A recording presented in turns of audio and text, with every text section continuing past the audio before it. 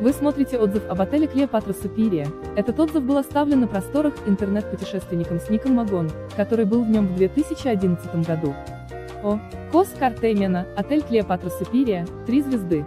Собственно, целью было просто покупаться в теплом море и позагорать, без излишней экскурсионной и прочей культурной программы. И желательно задешево. На фоне подорожавшего Кипра Кос для этого оказался наиболее подходящим, то ли его стали активно продвигать на рынке, то ли ввиду надвигающейся революции цены снизились. Итак, Кос. По большому счету смотреть там особо нечего. Наследие родовских крестоносцев сильно уступает собственно Родосу, а от античности остались в лучшем случае фрагменты фундаментов. Где-то на рубеже 19-20 веков было сильное землетрясение, и после него все отстраивали уже итальянцы. Оккупация с 1912 по 1943 годы, поэтому, например, столицу острова, город Кос, выдержана скорее в итальянской традиции, чем в греческой. Целом из достопримечательностей заслуживают внимания замок рыцарей в Г. Косе, кто видел Родос, тому он не интересен, и Асклепион. Асклепион – руины, с некоторым воссозданием, большого храмового комплекса бога Асклепия. Здесь работал Гиппократ, для которого Кос – родина и основное место деятельности. Сам остров очень зеленый, что для Греции не характерно. Особенно западная и северная части. Постоянно дует сильный ветер, порой доходящий до урагана, кепку срывает по-любому. Поэтому как бы и не очень жарко. Ветер, как и во всем Эгейском море, с запада. Поэтому на западном побережье всегда волнение. А на востоке, где ветер с берега, постоянный штиль, даже при ураганном ветре. У юго-восточного побережья, говорят, холодное течение, поэтому вода на 2-3 градуса холоднее, чем на западе. Но для нас, северян, и так очень даже хорошо. Песчаные пляжи на востоке и юге. На западе и севере – галька. При этом на северо-востоке, Салиде, где галька и поэтому, по заверениям турпредставителей, вода прозрачнейшая, по факту эта вода мутная из-за поднимаемой волнением какой-то мелкой взвеси. А в Картеймене, где только песок, вода чистейшая. Камари на юго-востоке, где самый большой и по ширине и по протяженности пляж, производит неприятное впечатление. Во-первых, много начатых и брошенных строек, много заброшенных строений, такое наблюдается везде по острову. Но здесь что-то особенное. Во-вторых, променад вдоль пляжа, идущая параллельно ему дорога, грунтовые. Сильный ветер постоянно сдувает пыль и мелкий песок в сторону пляжа, целыми облаками. Общее впечатление, что находишься на стройке.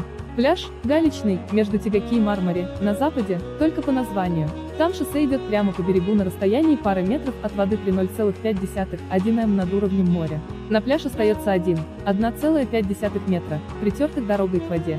Таким образом, в результате сравнений получается, что лучше всего в Картеймене, восток.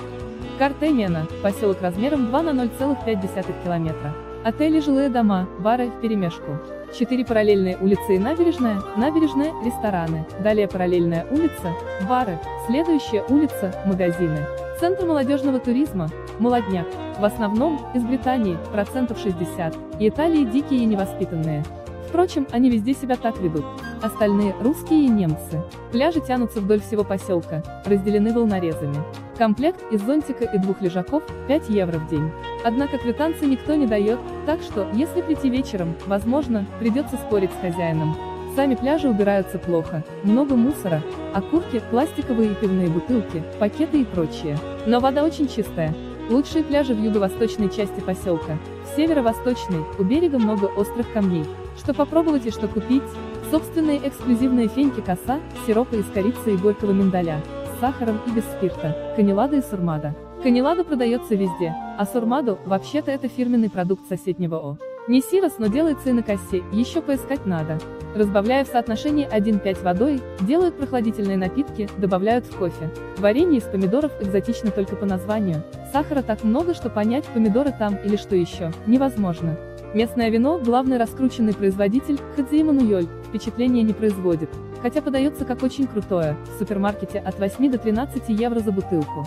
Лучше купить по-настоящему хорошие вина с Родоса, например, Гранрозия 10 евро, или с Санторина, Винсанта 15 евро. Экскурсионную программу предлагают достаточно разнообразную, но поскольку цель поездки была в купании, взяли только две экскурсии, обзорную поездку по острову Инау, Патмос, Патмос, место ссылки апостола Иоанна, где он сподобился откровения.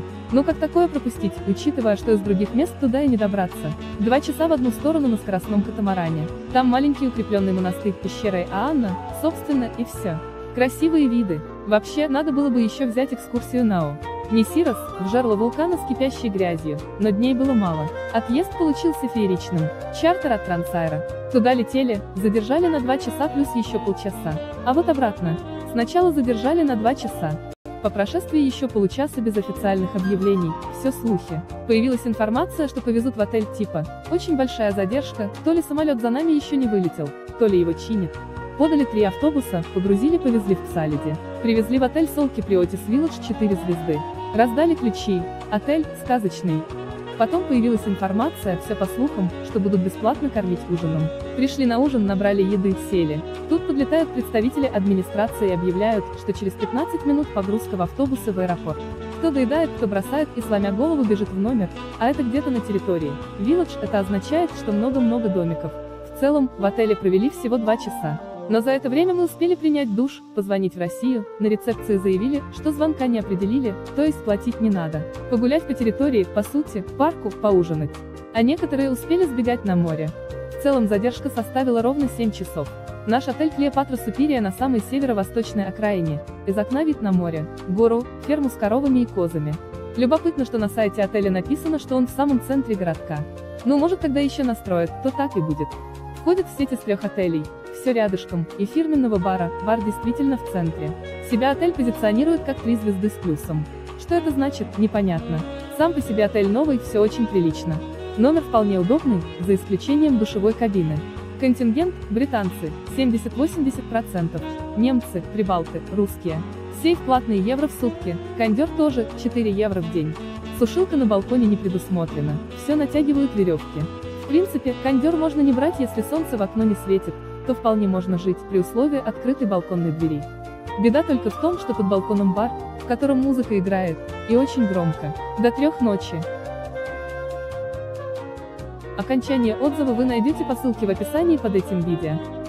В описании к этому видео есть ссылка и на другие отзывы про этот отель. В нашем туристическом агентстве вы можете без лишней переплаты заказать тур в этот и другие отели. Пожалуйста, обращайтесь, всегда рады вам помочь.